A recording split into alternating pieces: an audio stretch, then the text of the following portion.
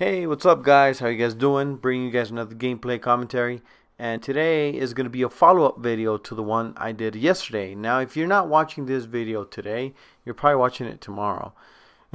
or maybe late down in the future. But my topic it's going to be pretty much the same as it was yesterday. Sport icons. And yesterday I did Derek Jeter for baseball. I did LeBron James for basketball. And I did also who did I do? Money making Mayweather. Mayweather boxing, which I'm not a fan of. Um, he's awesome. Well, I spoke about him in the last video. You know, I respect his skill, but I don't respect his mouth. But he could back it up. So, whatever, you know. um, and today I'll be doing soccer. I'll be doing uh, Messi. I'll be doing Tiger Woods, golf and finally, I'll be doing Tom Brady slash Peyton Manning. And it depends because that's going to be a little bit more of a lengthy uh, uh, commentary, I guess you could say. Because, uh, man, I'm, I'm a super diehard NFL football fan. Just football in general. I'm I'm 100% Denver Bronco fan ever since you know I was like seven years old, which I knew what what football was and what sports were. So, yeah. Uh, well, let's go ahead and I'll go ahead and start with uh, Messi, Lionel Messi from Argentina. He currently plays with the uh, FC Barcelona. If you don't know who that who that team is, just research it, and his name is gonna cut it's gonna pop up right away. He currently played in the World Cup Unfortunately, he did lose the World Cup. Give a big, big round of applause to Germany because they just dominated everybody. They, they didn't even lose a game, tie a game, nothing. They just flat out beat everybody, which that's what a World Cup champion should do. But alright, for Messi, he's just an amazing player. For me, he's the best right now.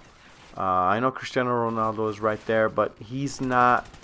He's not where Messi's at. And I know I had a comment that asked me um, if uh, you'll probably know who I'm talking about. You know, because you make this, you made this comment. It was a question, which um, do I think Messi will reach the potential or the um, skill level? I don't know skill level, but is he going to be considered like the best of all time, like Pele uh, with Brazil? And he he said that he didn't well he this is the follow-up answer he gave to his own question saying that no that Messi needs to win a World Cup. I agree. But there is something else. Uh, my answer was no. I do not believe nobody's gonna catch up to uh, Pele. Pele was just a different type of breed of dude at that time. Um, which he was just insane. He won his first World Cup at the age of 17 years old. Man, some kids barely have their license for a full year by that time. And this guy already won a World Cup. That's insane. That's that's skill. You know, yet again, it is a team a, a team game, but he was the main star, you know? So so it's crazy. Now, I had a little thought and you know, I said, well, what about if Pele would have been born in our era? How good would he have been? Would he be considered like a Messi? Would he blow out Messi in skill level? Would he be a lot better better than Cristiano Ronaldo? Or would he just be like an average guy? You know, you, you always have those thoughts. Like, what if Babe Ruth played in our era? Or what if Michael Jordan played in our era? Would would they dominate the game just like they did in their era? Or vice versa? If LeBron James would have played back then in the NBA when Michael Jordan was around, it was more of a uh, physical type of NBA. Would he be as skillful as he is? Or would he be just like another dude? You know, you just you just never know. You never know. You just have to take it for what it is. And for me, Messi, uh, this is my personal opinion. I know Maradona is like the main top guy for for other people, but for me, I think Messi is better than Maradona. I know I'm gonna get hate. I know I'm gonna get you know tons of hate from people from Argentina if you guys are watching it. But for me, Messi, his skill level is out the charts. Uh, he just dominates, dominates. You have to know where he's at every time. With Maradona, he did win a World Cup.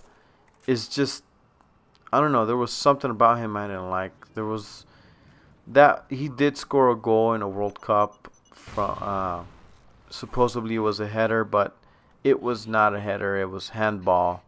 He he actually scored that goal with his hand, and that's what got them to win. I don't know if it was a World Cup or a semifinal.